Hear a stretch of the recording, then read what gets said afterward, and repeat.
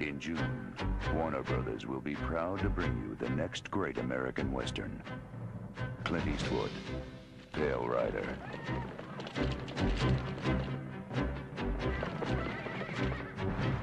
They came out of the mountains to ravage and rape a small mining village.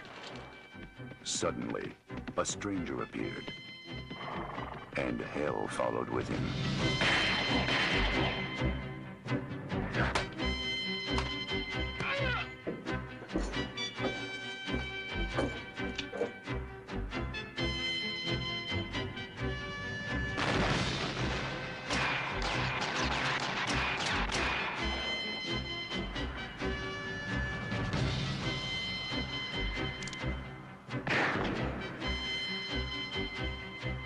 Some called him preacher. Others called him gunfighter. Clint Eastwood, Pale Rider.